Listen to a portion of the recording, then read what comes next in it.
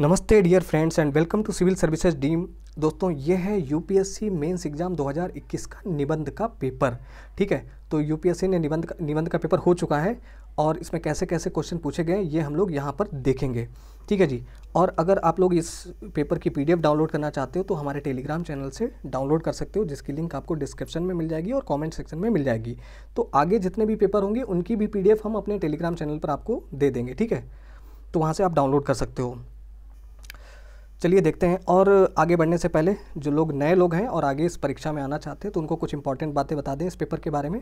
देखो, जो निबंध का पेपर होता है ऐसे का, वो आपका 250 नंबर का होता है, ठीक है? तो 250 नंबर में आपको 125 125 के दो निबंध लिखने होते हैं, जिसकी शब्द सीमा यानी वर्ड लिमिट होती है एक हज़ार से बारह सौ शब्दों के बीच में। हर एक निबंध आपको लिखना है। तो यहाँ सेक्शन ए और सेक्शन बी दो सेक्शन दिए गए हैं।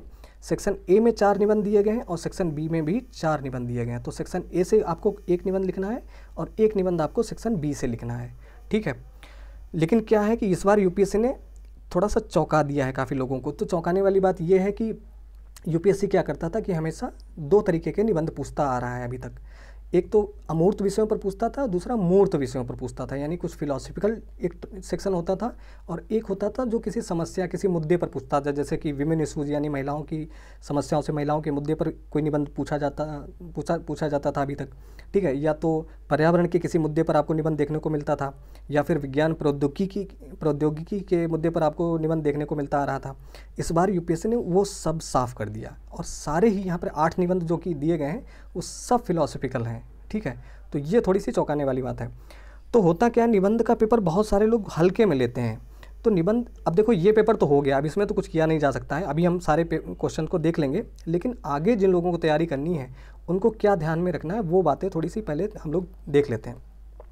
देखो, निबंध का पेपर जो है, जो कि ढाई नंबर का आपका होता है, और इसको उतनी ही रेस्पेक्ट देनी है जितनी G S one two three four जैसे जो जो कि ढाई ढाई सौ नंबर के होते हैं, ठीक है? उनमें हम लोग बहुत मेहनत करते हैं, लेकिन निबंध को उतना टाइम देते नहीं है, सिर्फ़ कोटेशन वगैरह एक जगह नोट करके रखते हैं, वो सोचते हैं, ये तो बाद में दो, चार दिन में तैयार कर लेंगे। ऐसा नहीं करना है आपको।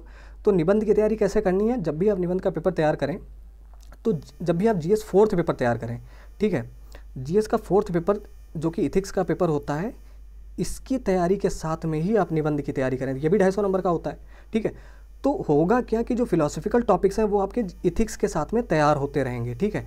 इसके अलावा मान लीजिए कि अगर किसी मूर्त विषय पर पूछ लिया, किसी समस्या पर पूछ लिया, किसी महिलाओं की समस्या पर पूछ लिया, किसी पर्यावरण से संबंधित पूछ लिया, ठीक है, या विज्ञान प्रौद्योगिकी से पूछ लिया तो वो तो आप G S one two three जैसे कि आप पढ़ोगे, उसके लिए न्यूज़पेपर तैयार करोगे, पढ़ोगे आप करंट अफेयर्स तैयार करोगे तो वो तो आप हर कोई लिख लेगा, ठीक है? समस्या आती है कि फ़िलोसफिकल टॉपिक दे दिया गया, उसमें क्या लिखोगे?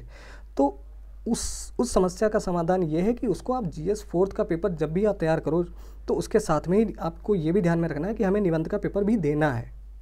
ठीक है? और दूसरी इंपॉर्टेंट बात यह है निबंध के पेपर को हल्के में ना लेने की, कि इसमें बहुत वेरिएशन आपको देखने को मिलेगा। जैसे कि निबंध का पेपर जो होता है, इसमें कुछ लोग ऐसे होंगे जिनको सौ नंबर भी मिलेगा। ठीक है? कोई ऐसा भी बंदा होगा जिसको 170 मार्क्स भी देखने को मिलेगा आपको। ठीक है? ऐसा G S one two three में नहीं होगा। और यही काम बिल्कुल जीएस के फोर्थ पेपर में भी होता है। किसी को 90 नंबर भी मिल होगा, कोई 145 वाला भी होगा 150 वाला भी होगा, ठीक है? इसके अलावा एक ऑप्शनल पेपर जो ऑप्शनल होता है, उसमें भी यही हाल है कि किसी को 240 नंबर भी आ रहा होगा और कोई ऐसा होगा जिसको 350 मिल रहा होगा, जैसे कि मैथमेटिक्स ऑप्शनल हो गया या लिटरेचर हो गया किसी लैंग्वेज का। तो ये जो एक हज़ार नंबर की यहाँ पर दिया गया है ना, ऐसे वाला जी एस फोर्थ और ऑप्शनल पेपर ये वन थाउज़ेंड मार्क्स हैं। इनको आपको प्रायोरिटी में रखना है, प्राथमिकता देनी है। G S one two three इसके अलावा तो वो तो आप करोगे ही तैयार। लेकिन जो मार्क्स का वेरिएशन है, वो इनमें सबसे ज़्यादा अगर थोड़ी सी मेहनत अगर और ज़्यादा कर लोगे तो और ज़्यादा मार्क्स बढ़ने की संभावना रहती है। G S one two three में ये है कि आप कितनी भी मेहनत कर लो, एक निश्चित सीमा से ज़्यादा मार्क्स नहीं गेन कर सकते हो। ठीक है तो ये बात आपको ध्यान में रखनी है थोड़ी सी। तो चलिए अब देख लेते हैं कि कैसे कैसे निबंध यहाँ पर पूछे गए हैं। तो जैसा कि सेक्शन ए में चार निबंध दिए गए हैं सेक्शन बी में चार निबंध दिए गए हैं। हर एक सेक्शन से आपको एक एक निबंध लिखना है। तो जो पहला है, आत्मसंधान की प्रक्रिया अब तकनीकी रूप से बाह्य स्रोतों को सौंप दी गई है। यानी the process of self discovery has now been technologically outsourced. ठीक है, ये निबंध लिखा जा सकता था। ठीक है, लिखने लायक है मतलब इसको लिख सकते हो। अच्छा यहाँ पे जो फिलोसफिकल निबंध दिए हैं तो इससे बहुत सारे लोग जिनका ऑप्शनल फिलोसफी रहा होगा, उनको थोड़ी सी मदद मिलेगी। लेकिन इसका आंसर जो है, वो फिलॉसफी की फिलॉसफी ऑप्शनल के के आंसर की तरह ही नहीं लिखना है। आपको निबंध की तरह ट्रीट करना है, बस इतना ध्यान में रखना है। ठीक है? इसके अलावा उन लोगों को बहुत ज़्यादा लाभ मिलेगा, जो लोग बहुत दुनियावी किताबें जिनकी पढ़ने की आदत रही है। जैसे कि कुछ लोग होते हैं, वो सिर्फ़ स्कूली और कॉलेज की जो बुक्स होती हैं, बस उतने ही पढ़ते हैं। और कुछ लोग रहते हैं, वो दुनियादारी सब पढ़ते रहते हैं, ठीक है? तो उनको बहुत लाभ मिलेगा यहाँ पर। इसके अलावा ये अगला जो है कि आपकी मेरे बारे में धारणा, आपकी सोच दर्शाती है। आपके प्रति मेरी प्रतिक्रिया मेरा संस्कार है, ठीक है? Your perception of me is a reflection of you my reaction to you is an awareness of me ठीक है? ये वाला भी लिखा जा सकता था। ठीक है, पहला वाला लिखा जा सकता था। इसके बाद तीसरा है, इच्छा रहित होने का दर्शन, काल्पनिक आदर्श है, जबकि भौतिकता माया है, ठीक है? तो ऐसे निबंध पूछेंगे। अगला है, चौथा वाला सत्य ही यथार्थ है और यथार्थ ही सत है, यानी the real is rational and the rational is real, ठीक है? तो ये चौथा वाला लिखा जा सकता है। अगर कोई कहे कि कौन सा लिखना चाहिए, ये वाला थोड़ा आसान है लिखना, चौथा वाला, या फिर पहला वाला भी लिखा जा सकता था। खैर, सब तो बिल्कुल जैसे नहीं कि बाली और सुग्रीव वाली बात होगी बिल्कुल एक जैसे ही सब दिख रहे हैं। तो सेक्शन बी से भी आपको एक ही करना है कोई?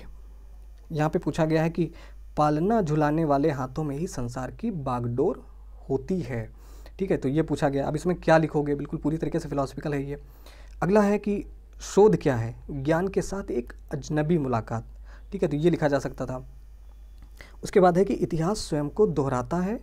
पहली बार एक त्रासदी के रूप में, दूसरी बार एक प्रहसन के रूप में।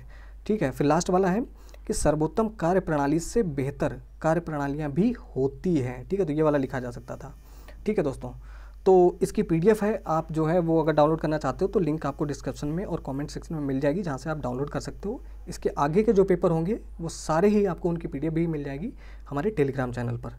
तो इस वीडियो में इतना ही, मिलते हैं अगले वीडियो में, तब तक के लिए नमस्कार, जय हिंद।